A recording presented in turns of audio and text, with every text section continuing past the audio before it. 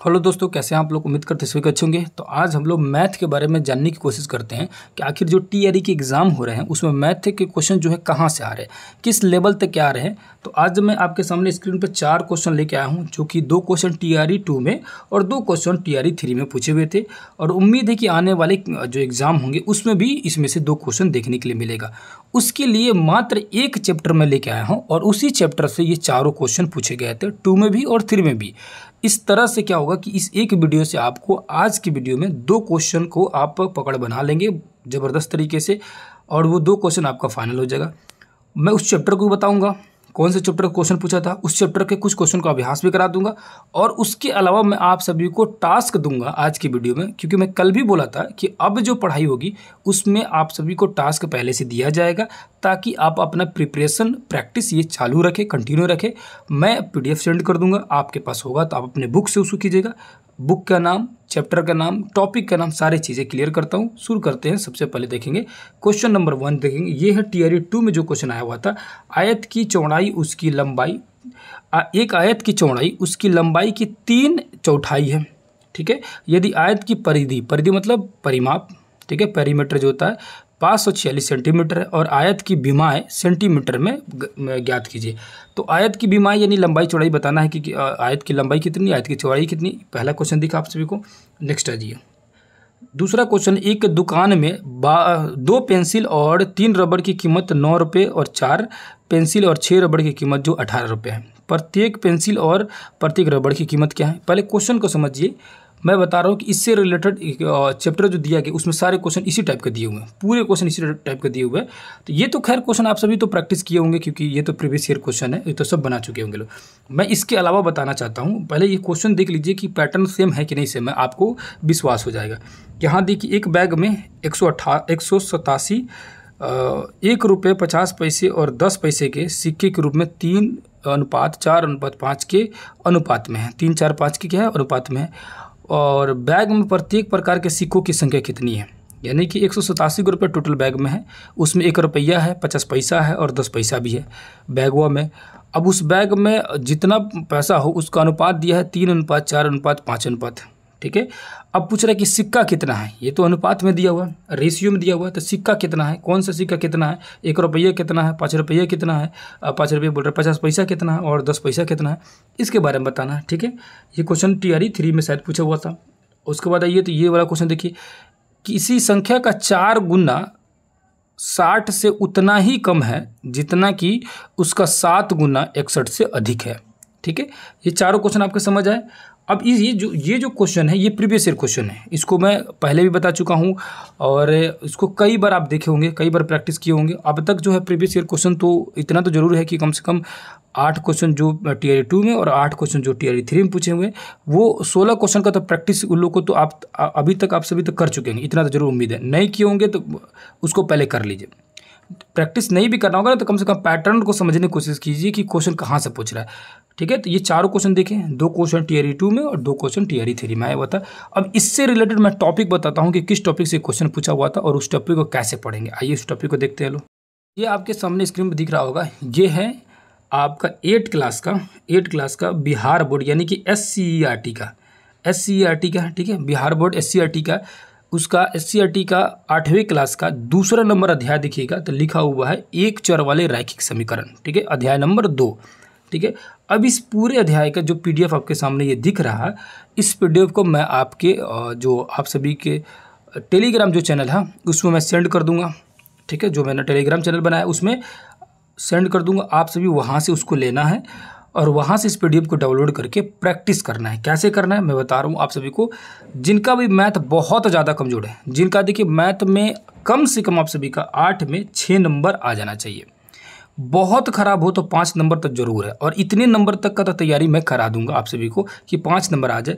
वही जो आप सभी का जो वन टू फाइव वाले हैं, उनका मैथ के क्वेश्चन ज़्यादा रहेगा और यही सब रहेगा, अलग नहीं रहेगा। उनको ज़्यादा फ़ायदा होगा। जबकि ये six to eight nine tenth eleven twelfth का अगर छोड़ा जाए तो वन टू फाइव को ज़्यादा फ़ायदा होगा। और बाकी जो six to eight nine tenth है, उनका तो आठ ही क्वेश्चन है।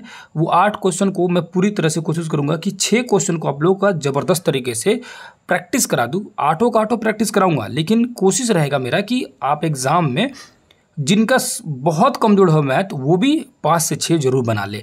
और जिनका मैथ में थोड़ा भी पकड़ होगा बढ़िया से, है ना मैथ में थोड़ा भी पकड़ होगा, क्योंकि जो रेलवे वगैरह का तैयारी करते होंगे पहले से, या किसी भी मैथ से रिलेटेड कंपटीशन में होंगे तो आसानी से बना लेते होंगे, है ना। अमूमन आठ में चार जो ऐसे क्वेश्चन रहते हैं ना, वो ईजी रहते हैं। एग्ज़ाम में बहुत ज़्यादा ईजी रहते हैं, जो आपको देख कर समझ आ जाएगा, बन जाएगा तुरंत।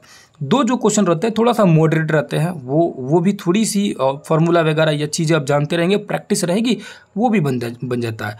बाकी जो दो क्वेश्चन रहते, एक से दो क्वेश्चन रहते, थोड़ा सा लेवल अप रहता है, जिसके लिए जो मैथ शुरू से पढ़ा हुआ है, बेहतर तरीके से वो बना पाता है, वरना नहीं भी बनाएगा तो कोई दिक्कत नहीं। कम से कम ये छः क्वेश्चन का तो कमांड आपको होना चाहिए। बहुत किसी का जो चार क्वेश्चन भी मैथ में नहीं बन रहा है तो ये बहुत गलत बात है कि चार भी क्वेश्चन अगर आठ में नहीं बन रहा है तो ये मुश्किल वाली बात है। उसको, उसी समस्याओं को मैं दूर करने की कोशिश करूँगा। तो इस चैप्टर को देखिए, इस चैप्टर में जो कहानी लिखी गई होगी, अब इस पूरी कहानी का आपको पढ़ना है। समय दीजिएगा, समय आप अभी भी काफ़ी है आप लोगों के पास में, अब तो समय ही समय है तो इसको आप लोग पढ़िएगा, इस चैप्टर को, पूरी चैप्टर को पढ़िएगा, जो बहुत ज़्यादा कमज़ोर है। और जिनको पहले से नॉलेज है, उतना खास देखने की ज़रूरत नहीं है, लेकिन जो कमज़ोर है, जिनको एकदम कोशिश करना है कि भाई हमसे एक दो दो तीन क्वेश्चन ही बनता है सही से तो उनको मैं सजेशन करूँगा कि आप इस चैप्टर को पूरी बढ़िया से पढ़िएगा, ज़बरदस्त तरीके से, ठीक है? कैसे क्या चीज़ें लिखी गई उसको पढ़िएगा। देन उसके बाद आइएगा आप लोग, है ना चैप्टर नंबर इसका एक का, यहाँ जो है, यहाँ सबसे पहले उदाहरण एक लिखा है। इस चैप्टर से रिलेटेड जितने भी उदाहरण के क्वेश्चन होंगे, पहले उदाहरण का क्वेश्चन बनाना है, आपको उदाहरण के एक भी क्वेश्चन नहीं छोड़ना है। इस पूरे उदाहरण क्वेश्चन को, क्योंकि क्वेश्चन और आंसर दोनों सामने दिया है, इसको आप लोग को सॉल्व करना है, समझने की कोशिश करना है, क्योंकि आप तो एट क्लास के तो बच्चे नहीं हैं। क्योंकि नहीं समझ आएगा। इतना तो ज़रूर है कि आप देखेंगे इसको तो तुरंत समझ जाएँगे। तो इसको समझिएगा लो उसके बाद से फिर उदाहरण टू बनाइएगा लो उसी तरह जितना भी उदाहरण दिया होगा, सारे उदाहरण को प्रैक्टिस करना आप सभी को, है ना? पहला काम आप लोग का यही रहता है। उसके बाद आएँगे नीचे में। तो यहाँ जो क्वेश्चन दिया गया, जितने भी क्वेश्चन इसमें से दो तीन क्वेश्चन को प्रैक्टिस कीजिएगा, जैसे कि ये वाला क्वेश्चन ठीक है? उसके बाद ये सिक्स वाला क्वेश्चन यानी six question ten question nine question उसके बाद सेवन नंबर क्वेश्चन तो सिक्स सेवन और आप सिक्स से लेकर टेन तक कोशिश कीजिएगा, है ना six seven eight nine ten यहाँ तक ये क्वेश्चन जो है बना लीजिएगा। ठीक है, इतना पाँच क्वेश्चन जो है सिक्स से लेकर, क्योंकि उससे ऊपर थोड़ा सा ईजी है, लेकिन सिक्स से ऊपर टेन तक का क्वेश्चन बनाने की कोशिश कीजिएगा। प्रैक्टिस रहेगा तो चीज़ें समझ आएगी, उसके बाद पहुँचिएगा आप लोग। अब यहाँ देखिए उदाहरण नंबर चार दो संख्याओं का योग पंद्रह है। यदि एक संख्या दूसरी संख्या से पाँच अधिक है तो दोनों संख्या को ज्ञात कीजिए। क्या कीजिए? दोनों संख्या ज्ञात कीजिए। इसको देखिए कितना ज़बरदस्त तरीके से यहाँ बताया गया है। और ये जो बिहार बोर्ड का जो किताब है ना, इसमें चीज़ों को आसान तरीके से समझाने की कोशिश करता है। तो इसको जब पढ़िएगा ना आप तो बहुत बेहतर तरीका से आपको समझ आएगा। ठीक है? उसके बाद आजिए नीचे, यहाँ तरीका भी बताया है दो दो तरीका बताया कि कैसे बनेगा। और यहाँ देखिए, यहाँ क्वेश्चन ये वाला ये। कह रहा है कि जैसे क्वेश्चन एक पूछा हुआ था उसमें, आठ बटा तीन के दुगुने से एक अधिक में क्या घटाए कि दो बटा सात मिले? ठीक है? उसी तरह का है थोड़ा सा लेवल उसमें अप दिया है, क्योंकि और भी आगे चैप्टर में लेवल अप आएगा। है ना? अब ये शुरुआत कर रहा है क्वेश्चन थोड़ा सा इसे थोड़ा सा हार्ड था, लेकिन पैटर्न को पता रहता तो वो भी क्वेश्चन आप बना सकते थे। पहली बात है कि आपको पता रहना चाहिए कि किस तरह से बनेगा तो क्वेश्चन हार्ड भी पूछेगा तो बन जाता है। तो यही सब क्वेश्चन है। आपको दिख रहा होगा सेम क्वेश्चन इसी तरह से, इसी टाइप के क्वेश्चन जो आपके एग्ज़ाम में आए हुए थे। नेक्स्ट उसके बाद आइए, यहाँ देखिए जो आयत का कह रहा था। एक आयत की लंबाई और चौड़ाई का अनुपात तीन अनुपात दो है। उसकी परिमिति तीस मीटर, यानी कि जो वही पेरीमीटर यानी परिमाप क्या है? तीस मीटर है और उसकी लंबाई एवं चौड़ाई ज्ञात कीजिए। अब ये क्वेश्चन जो है ना, पूरी तरह से ठीक ठाक क्वेश्चन है और ये क्वेश्चन पूछ सकता है आने वाले एग्ज़ाम में। मुझे उम्मीद है कि क्वेश्चन पूछेगा ये। है ना वन टू फाइव हो या सिक्स टू एट में कहीं ना कहीं ये क्वेश्चन पूछेगा कि ये क्वेश्चन ठीक ठाक लग रहा है लेवल लग रहा है इसका क्वेश्चन जो एग्ज़ाम में आने चाहिए, ठीक है? ये क्वेश्चन आ सकता है। इस क्वेश्चन को आप लोग खूब बढ़िया से प्रैक्टिस कीजिएगा लोग। बहुत ईजी है क्वेश्चन को बनाना। यहाँ पर आप पूरी कहानी को पढ़ेंगे तो ज़बरदस्त तरीका से समझ आ जाएगा। क्योंकि ये सॉल्व किया हुआ इसीलिए मैं नहीं बता रहा हूँ। आगे जो क्वेश्चन है, उसका दो तीन क्वेश्चन का मैं अभ्यास करा दे रहा हूँ। पहले जो सॉल्व किया हुआ है, उसको आप लोग उतना इसको, यहीं पर सब चीज़ बना हुआ है तो उसको क्या बताऊँगा चीज़ें को? बोलिएगा कि देखिए देखिए बता रहा हूँ। तो इसको छोड़िए अभी। यहाँ उदाहरण चार देखिए। जूली की माँ की वर्तमान उम्र, जूली की वर्तमान उम्र के तिगुने से एक वर्ष कम है। यदि पाँच वर्ष पहले उसकी उम्र का युग उनतीस था तो उसकी वर्तमान उम्र क्या होगी? और ये क्वेश्चन खूब पूछता है। बताइए, पूछता है कि नहीं पूछता है? आप सभी खुद देखे होंगे, बहुत सारे ऐसे इस तरह के क्वेश्चन पूछते हैं। है कि नहीं है? आगे आ जाइए। यहाँ देखिए, इस पूरे को प्रैक्टिस कीजिएगा। फिर यहाँ देखिए, ये वाला क्वेश्चन सिक्का वाला जो क्वेश्चन था, बंटी के पास दो रुपये दो रुपये के एवं सोनू के पास पाँच रुपये के कुछ सिक्के हैं। यदि बंटी के पास सिक्कों की संख्या, सोनू के पास के सिक्कों की संख्या के तीन गुने से दो कम है, उसके पास के सभी सिक्कों का कुल मूल्य इक्यावन रुपया है तो प्रत्येक के पास कितने, कितनी राशियाँ है? अब बताइए, ये क्वेश्चन इस तरह का पूछता है तो क्वेश्चन और पढ़ते तो सबको कहता बाप रे, कितना भारी क्वेश्चन है। जो थोड़ी सी मैथ में कमज़ोर है, उनको मैं बोल रहा हूँ। जिनका मैथ में तो थोड़ा सा पकड़ मज़बूत, उनके लिए तो बहुत ईजी रहता है ये सब चीज़ें। अब जो मैथ से दूर दूर तक ताल्लुकात नहीं रख रहे हैं, जिनको अब ये क्वेश्चन पढ़ते उनको अजीब सा फील आएगा कि भाई साहब इसको छोड़ ही दे रहे हैं स्किप कर दे रहे हैं एग्ज़ाम के समय में। अब लोग सोचते हैं क्वेश्चन कितना हार्ड पूछता है, कहाँ से पूछता है? जबकि ये किस किस क्लास का? एट क्लास का क्वेश्चन है। अब समझिए क्वेश्चन का लेवल देखिए। ये भी क्वेश्चन मुझे उम्मीद है कि किसी न किसी एग्ज़ाम में पूछेगा, क्योंकि क्वेश्चन का लेवल ज़बरदस्त है। अच्छा लेवल है। इसको भी प्रैक्टिस कीजिएगा आप लोग। ठीक है? अब यहाँ देखिए, यहाँ लिखा है। तीन क्रमागत विषम संख्याओं का योग तिरानवे है।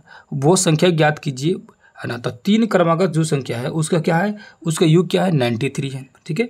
और यहाँ पर तीनों संख्या लिख दिया है कि पहला संख्या एक्स दूसरा संख्या X plus two X plus और एक्स प्लस फोर क्योंकि इसलिए लिखा है क्योंकि विषम कह रहा है। विषम लिखा हुआ इसीलिए एक्स प्लस टू और एक्स प्लस फोर इसी टाइप का लिख रहा है, ठीक है? क्योंकि दो में कोई भी संख्या जोड़ेंगे, है ना? तो विषम बनाना होगा। तो सम में कोई एक संख्या जोड़ेंगे, तभी जाकर वो विषम बनेगा। आप करके देख लीजिएगा, ठीक है? इसीलिए ऐसे दिया हुआ ठीक है? आगे आ जाइए। नेक्स्ट चलते अब यहाँ जो है ना टू पॉइंट टू ये मैं बताने की कोशिश कर रहा था कि जो टू पॉइंट टू जो है ना, इस चैप्टर को, इस प्रश्नावली को आपको नहीं छोड़ना है। इसके सारे क्वेश्चन बनाने हैं, सारे क्वेश्चन लगभग कितने दिए? दस क्वेश्चन दिए। और इस दस क्वेश्चन में से आप उम्मीद रखिएगा, एकदम देखिएगा, एक क्वेश्चन ज़रूर आएगा। कन्फर्म इसमें से एक या दो क्वेश्चन आएगा। इस, ये पूरे चैप्टर में से दो क्वेश्चन आने वाले हैं। एग्ज़ाम में श्योर आएगा एग्ज़ाम में, ठीक है? सेम टू सेम मैथ में देखिए मैथ में चीज़ें हो बहु तो नहीं आती है, लेकिन डाटा सेम रहता है टॉपिक सेम रहता है। सॉरी डाटा अलग अलग रहेगा, लेकिन टॉपिक सेम रहेगा टाइप सेम रहेगा। मतलब क्या है, जैसे एक बटा चार लिखा है, यहाँ पर एक बटा दो लिख देगा, यहाँ पर एक बटा आठ लिखा है तो यहाँ पर एक बटा छः लिख देगा। लेकिन क्वेश्चन का पैटर्न वही रहेगा सेम टू सेम जैसे पहला क्वेश्चन देखते हैं, ये मान के चले लिखा हुआ कि यदि किसी एक संख्या के आधे में आधे में एक बटा चार घटाया जाए, यानी किसी संख्या के आधे में से कोई भी संख्या हो मान चलिए संख्या हो गया एक्स इसका आधा, संख्या का आधा होता है एक्स बटा टू। संख्या का आधा हो गया। में से एक बटा चार घटाया जाए तो क्या घटाएँगे? एक बटा चार घटा दीजिए, एक बटा चार घटाए। घटाया जाए तो एक बटा आठ प्राप्त होता है, यानी प्राप्त क्या होता है? बराबर एक बटा आठ प्राप्त होता है। अब ये चीज़ यहाँ ऐसे बन गया तो ये चीज़ का अगर वो टू पॉइंट वन में प्रैक्टिस किए रहेंगे, है ना, इसीलिए मैं बोल रहा हूँ कि उसको जब प्रैक्टिस करेंगे तो ये चीज़ें जब इस रूप में आप ढाल लेंगे तो तुरंत बन जाएगा। कैसे बनेगा? आप इसको ये चीज़ें जो होती है, याद रखिएगा, बराबर का, बराबर की इधर ये संख्या को अगर इस साइड ला रहे बराबर के इस साइड ला रहे तो साइन चेंज हो जाता है। अगर ये माइनस में दिया है तो ये प्लस में हो जाएगा।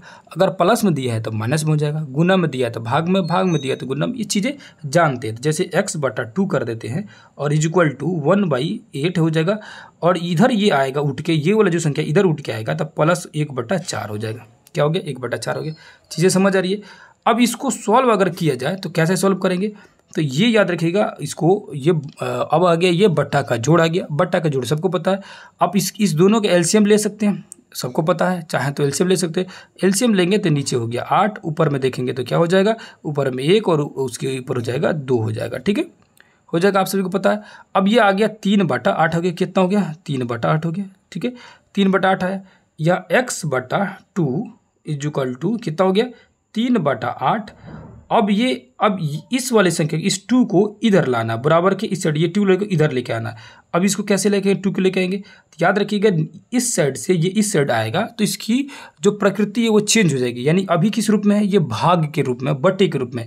ये उठ के इधर आएगा तो क्या हो जाएगा? अगर उठ के इसको इस इधर लाते, यहाँ से मान के चलिए इसको हटा दिए, इसको यहाँ से इरेज कर देते हैं। अब कहाँ लेके आते हैं इसको? तो इसको हम लोग लेके आते हैं, इस साइड में तो गुना में आ जाएगा टू क्या हो जाएगा? गुन्ने में टू आ जाएगा। जब ये गुन्ने में टू आएगा तो उस स्थिति में आप देखेंगे तो क्या हो जाएगा आपका? तो जब इसको देखेंगे, गुन्ना में करेंगे तो क्या पूछेगा आपका? यहाँ से इसको दो से आठ को काटेगा तो चार बार में कटेगा। यानी एक्स इजिकल टू हो गया आपका तीन तीन बटा चार हो गया आंसर यही आ गया। एक्स का आंसर निकल गया, यहाँ से आंसर निकाल सकते। दूसरा देखिए क्वेश्चन जो लिखा हुआ, आपके दूसरा जो क्वेश्चन लिखा हुआ, यदि किसी आयत की लंबाई चौड़ाई का अंतर पाँच है, यानी मान के चलिए लंबाई चौड़ाई का, यानी कि अगर लंबाई माइनस चौड़ाई किया जाए तो कितना आ रहा है? पाँच आ रहा है। यानी लंबाई और चौड़ाई का अंतर जो है पाँच है। अंतर मतलब होता है कि दोनों के बीच में घटा इसका मतलब है कि अगर देखा जाए तो लंबाई बराबर है है ना पाँच प्लस चौड़ाई के, यानी चौड़ाई में अगर पाँच जोड़ा जाएगा, तब जाके उसको लंबाई मिलेगा। समझ आएगा यहाँ से कहानी? आगे लिखा है कि इसकी परिमिति, यानी कि परिमाप जो है कितना है? एक सौ दस है। यानी कि इसका पैरीमीटर कितना? सौ दस है। तो लंबाई और चौड़ाई ज्ञात कीजिए। अब आपका पता चल गया कि अब परिमाप क्या होता है कि आयत का परिमाप देखेंगे तो दो गुने क्या होता है? एल प्लस बी यानी लंबाई प्लस क्या होता है? चौड़ाई। जानते हैं आप सभी को? आपसे पता है? तो दो गुने लंबाई प्लस चौड़ाई बराबर दिया है एक सौ दस, क्योंकि इसके आंसर दे दिया आप सभी को। अब यहाँ पर दो गुने लंबाई क्या मानते हैं? मान के चलिए कि लंबाई अगर मानते हैं, अगर चौड़ाई मानते एक्स तो लंबाई कितना था? लंबाई होना चाहिए एक्स प्लस पाँच, क्योंकि इससे पाँच गुना ज़्यादा होगा। है कि नहीं है? तो दोनों एक्स प्लस पाँच लंबाई है तो चौड़ाई आपका एक्स ठीक है? अब दोनों को जोड़ देना, ठीक है? दोनों को जोड़ देना। जोड़ने के बाद एक सौ दस है। अब इस रूप में जब उतार लीजिएगा तो आप आसानी से इजीली रूप से बना लेंगे। कैसे? आप देखेंगे तो दो गुने, क्या हो जाएगा? दो गुने, अब इसको सॉल्व करेंगे तो टू एक्स प्लस क्या हो जाएगा? फाइव तो टू एक्स क्योंकि ये एक्स और ये एक्स ऐड हो जाएगा और प्लस क्या हो जाएगा? फाइव हो जाएगा, ठीक है? आसानी तरीके से, ठीक है? अब इसको थोड़ा सा और फिर इस तरीके से बताते हैं, क्योंकि कन्फ्यूज़न नहीं होना चाहिए। अगर मान के चलिए क्या था? लंबाई होना चाहिए था। ए, लंबाई क्या होगा उसका? लंबाई है पहली बात की चौड़ाई उसका क्या दिया है? दोनों में से चौड़ाई क्योंकि छोटा होता है तो चौड़ाई मानेंगे। मान के चलिए उसकी चौड़ाई जो है एक्स मान लेते हैं तो लंबाई क्या कर क्वेश्चन कह रहा है कि लंबाई जो है चौड़ाई से पाँच ज़्यादा है। क्या ज़्यादा? है पाँच अधिक है। क्यों पाँच अधिक है? क्योंकि कह रहा है कि दोनों के अंतर जो है मान के चलिए लंबाई और चौड़ाई यानी लंबाई और चौड़ाई के अंतर क्या है? पाँच है। इसका मतलब अगर लंबाई देखेंगे तो पाँच प्लस क्या हो जाएगा? चौड़ाई हो जाएगा। सिंपली बात है, है कि नहीं है? तो दोनों का अंतर अगर पाँच है तो इसका मतलब लंबाई समझ आ गया। लंबाई समझ आया कि एक्स प्लस पाँच है ना? और चौड़ाई समझ आया आप सभी को। क्या समझ आया? चौड़ाई समझ आया एक्स है।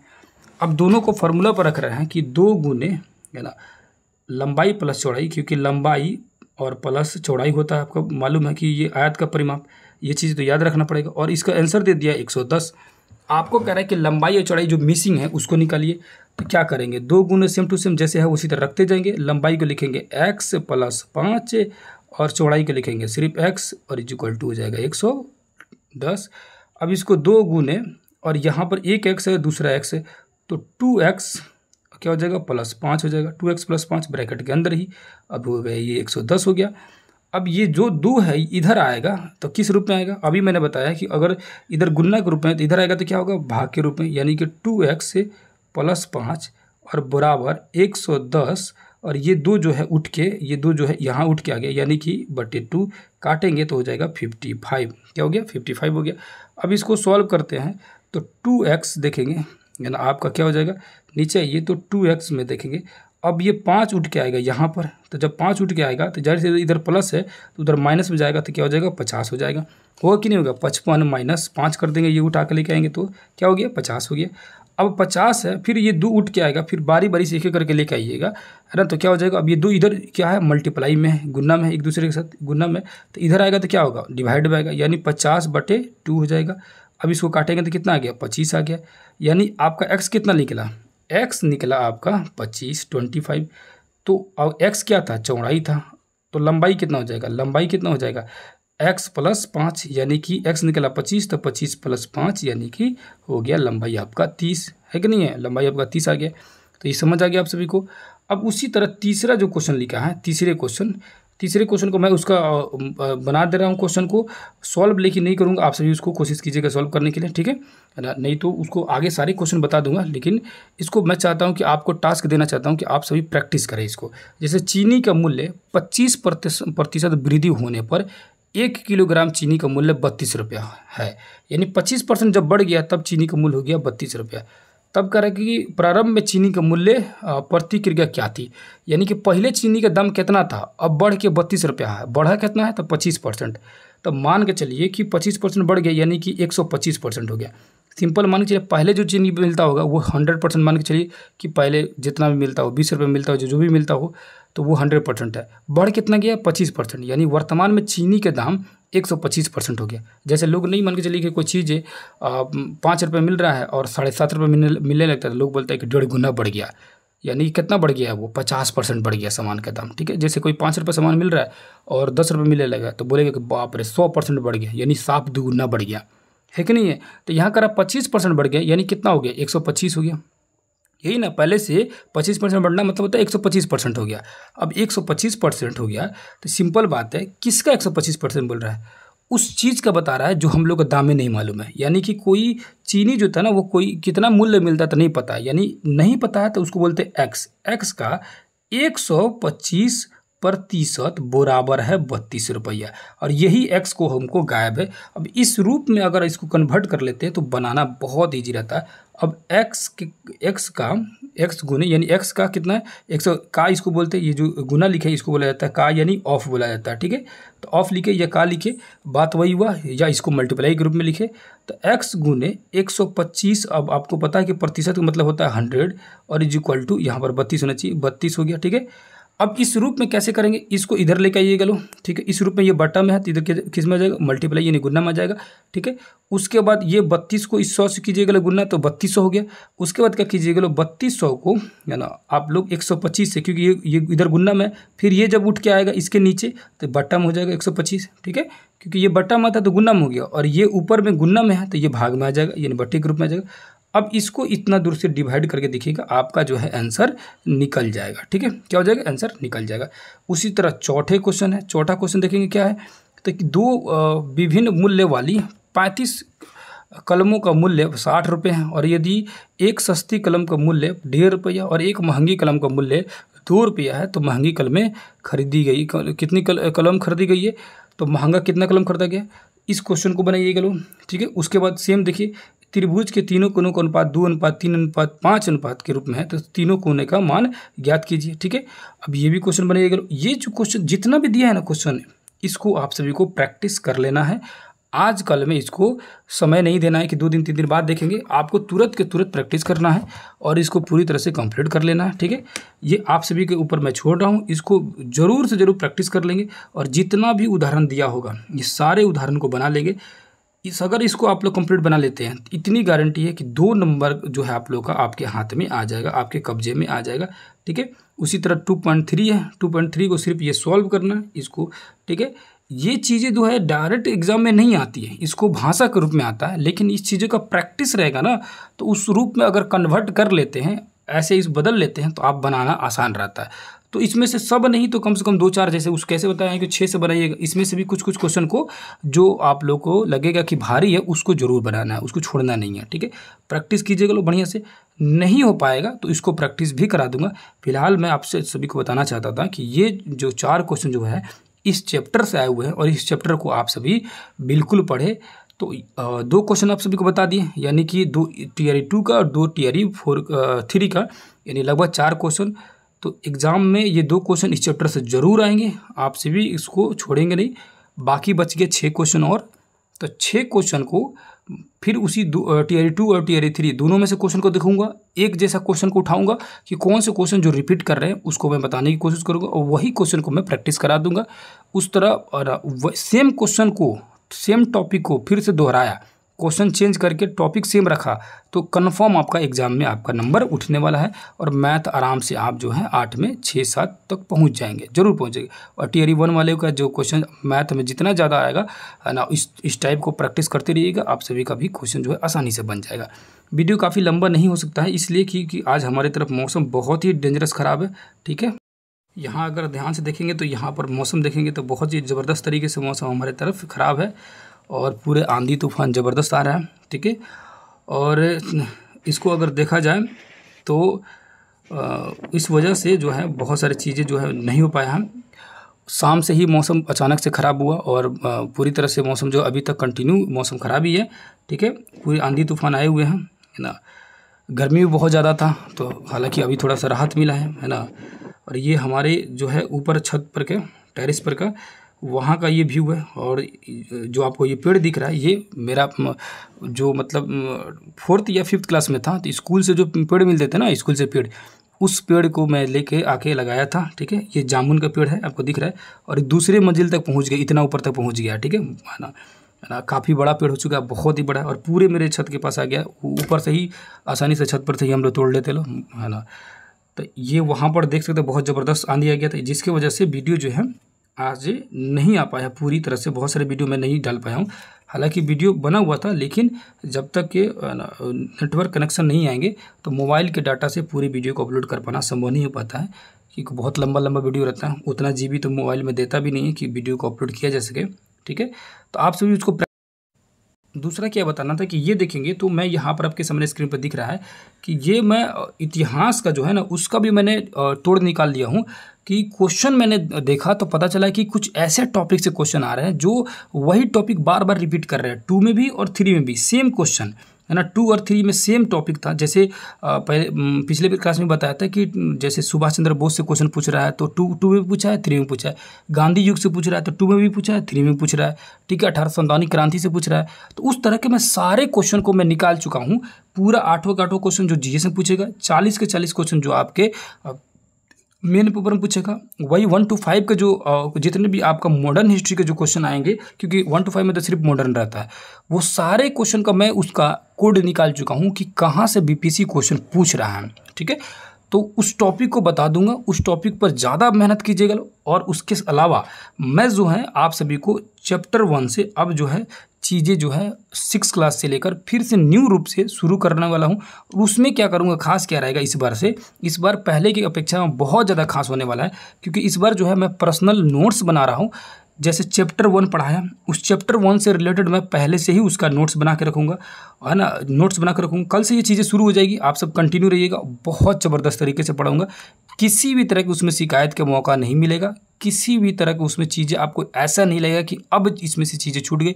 और याद करने की जो भी समस्या हो रहा है ना कि भूल जा रहे हैं याद करना बार बार क्या किया जाए, सब चीज़ें को मैं बताऊँगा, उसको इस तरह से मैं प्रेजेंट करूँगा ना कि इस बार आप कभी भी नहीं भूल पाइएगा। है ना? बहुत ज़बरदस्त तरीके से, बहुत ईजी वे में मैं उसको लाने की कोशिश कर रहा हूँ। जैसे चैप्टर वन पढ़ाया चैप्टर वन का उसी समय मेरे पास पहले से जो नोट्स बना कर रखूँगा, उस नोट्स में क्या करूँगा? पहले तो चैप्टर के अंदर जो मोटा मोटी जो चीज़ें दी गई है इंपॉर्टेंट उसको मैं उतार लूँगा सारांश के रूप में। सारांश मतलब कि मेन मेन चीज़ें उसको लिख लिया गया, जो ज़रूरी है। उसके बाद उसी के नीचे क्वेश्चन में लिखूँगा कि इससे अकॉर्डिंग जो है कितने क्वेश्चन बन सकते हैं, ठीक है? उसी के नीचे एक क्वेश्चन लिखूँगा कि इससे रिलेटेड कितने क्वेश्चन बन सकते हैं। सारे क्वेश्चन को उसी समय आप सभी से पूछ लूँगा। ऑन द स्पॉट आपसे क्वेश्चन पूछा जाएगा। उससे क्या होगा कि चैप्टर कंप्लीट चैप्टर से रिलेटेड जो भी क्वेश्चन बन सकते थे, वो सारे क्वेश्चन ऑन द स्पॉट आपका कंप्लीट हो जाएगा। और उसके बाद जैसे ही पूरी किताब कवर हो जाएगी, जैसे पर डे कोशिश करूँगा दो तीन चैप्टर लाऊँ, जैसे ही एक दो दिनों में पूरा किताब कवर होगा लास्ट में आप सभी को उससे रिलेटेड पूरे एमसीक्यू क्वेश्चन बना रहा हूँ। एक चैप्टर से कम से कम तीस चालीस क्वेश्चन बनाने की कोशिश, किसी किसी चैप्टर में तो सत्तर सत्तर ऑब्जेक्टिव बन रहा है, ठीक है? और पूरे मैं अपने क्लास के ऑफलाइन क्लास के स्टूडेंट को भिड़ा दिया हूँ पूरी तरह से कि भाई साहब यू ना कि बच्चों को एकदम पूरा बनाइए, है ना? आप सभी के लिए पूरी जोरों शोर से मेहनत कर रहे हैं बच्चे, ठीक है? अगर बढ़िया लगेगा आप लोग को ऑब्जेक्टिव अगर बढ़िया लगेगा नोट्स तो आप सभी बच्चे को धन्यवाद दे सकते हैं। और चीज़ें जो है अब जो आएँगी ना, उसमें जो है पहले की अपेक्षा बहुत चीज़ें उसमें ज़बरदस्त लाऊँगा। पहला वाला वीडियो में बहुत सारे आप लोगों ने प्यार दिखाया। ये वाला समझिए कि उसके, उस, उससे लेवल अप रहेगा और ऐसा लेवल अप रहेगा कि कहीं मिले भी नहीं करेगा ऐसा। ऐसा मैं कोशिश करने वाला हूँ ना कि वो चीज़ें एक बार पढ़ेंगे, वो चीज़ें मैं आप लोग को प्रोवाइड कराऊँगा टेलीग्राम पर पढ़ा दूँगा टेलीग्राम प्रोवाइड करा दूँगा, उसको यहाँ पढ़ाऊँगा ना, यहीं से आपको याद हो जाएगा। इस बार जो है भूलने नहीं दूँगा आप लोग को। वो जो आपकी समस्या हो रही है ना बार बार मैं भूल जा रही हूँ, भूल जा रही हूँ या भूल जा रहा हूँ, वो चीज़ें इस बार से शिकायत आपकी दूर होने लगेगी। और ये एक महीने यही तो मैं बोल रहा था कल भी कि आपकी कमी बेहतर है कि आपने कमी आपके अपने पहचान लिया, बहुत अच्छा हुआ। चीज़ें मैं बोल रहा हूँ कि अभी जो समय दे दिया है ना जाने अनजाने में जो भी कोर्ट की वजह से जैसे भी हुआ, लेकिन समय मिल गया, उस समय को सदुपयोग में, सदुपयोग कीजिए, उस समय को जो चीज़ें कमी रह गई, उसको यूटिलाइज कीजिए, उसको दूर करने के लिए। जैसे कमी रह गई, आपके मैसेज आया मेरे पास कि उस पढ़ रहे हैं लेकिन भूल जा रहे हैं। तो मैं उसके तरीका बताऊँगा। जैसे शुरू करूँगा, तरीका बताऊँगा कैसे पढ़ना है और कैसे याद करना है, ठीक है? सारी चीज़ बताऊँगा।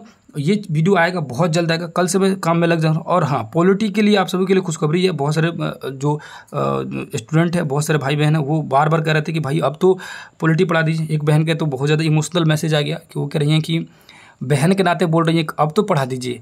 तो ठीक है बहना, अब आपने कह दिया कि पोल्ट्री पढ़ाइए तो मैं पोल्ट्री के लिए भी, है ना, आप सभी के, की तरह ही एक दूसरी बहन को मैं अरेंज कर रहा हूँ। उनको पोल्ट्री पढ़ाना ज़बरदस्त आता है, उनको मैं बोला हूँ, वो एक दो दिनों में, है ना मे भी कल या परसों से पोलिटी आप लोगों का शुरू हो जाएगा। ज़बरदस्त नॉलेज है उनको भी पोलिटी में, और वो पोलिटिकल साइंस पढ़ाएँगी। ना, आप सभी का उस फीडबैक दिखेगा कि, दीजिएगा, कैसा पढ़ा रही हैं? हालाँकि उम्मीद है कि बेहतर पढ़ाएँगी। जैसे आप सभी हमसे कनेक्टेड है, आप सभी जब भी उनका वीडियो आएगा, मैं इसी चैनल पे आएगा, यहीं पे आएगा। और, जब आप पढ़िएगा तो उम्मीद है कि उनको भी बहुत ज़्यादा, आप सभी को उनका वीडियो भी बहुत ज़्यादा पसंद आएगा। ठीक है? तो सारी चीज़ें आएगी धीरे धीरे हर चीज़ की समस्याओं को मैं समाधान करने की कोशिश करूँगा। और, जो भी समस्या होगा फिर मैं दोबारा बोलूँगा कि आपका कोई भी प्रॉब्लम हो, बेधड़क आप मेरे पास व्हाट्सएप कर सकते हैं एनी टाइम कॉल कर सकते हैं, मेरा व्हाट्सएप नंबर मेरे सब किसी को पता है, नहीं मालूम होगा, नए बच्चे होंगे अबाउट में जाकर मेरा नंबर मिल जाएगा, वहाँ पर मेरा नंबर होगा double nine zero triple five zero one four eight ये मेरा मोबाइल नंबर है, वहाँ पर कॉल कीजिए मैसेज कीजिए, समस्या हो, शिकायत हो, किसी भी तरह का, किसी भी तरह की प्रॉब्लम हो, वहाँ पर कंप्लेन कर सकते हैं, या किसी भी तरह से हमें सजेशन लेने होगी तो ले सकते हैं, ठीक है? एनी टाइम आपको जवाब देने की कोशिश करूँगा, ठीक है? तो वीडियो को यहीं पे एंड करते हैं। ये मैथ का जो क्वेश्चन है चैप्टर को अभी मैं टेलीग्राम में अपलोड कर दे रहा हूँ। वहाँ से आपको लेकर इसको ज़रूर अभ्यास करना है। कल तक पूरा हो जाना चाहिए। ये टास्क मेरा आप पूरा कीजिए। और पर डे मैं आप लोग को टास्क दूँगा। इसी तरह कभी इतिहास में, कभी भूगोल में, कभी अदर में, उसका मैं पीडीएफ देते जाऊँगा। टास्क आप लोग को कंप्लीट करना है। और इस एक महीने में तगड़ा तैयारी करा देना आप लोग को, ठीक है?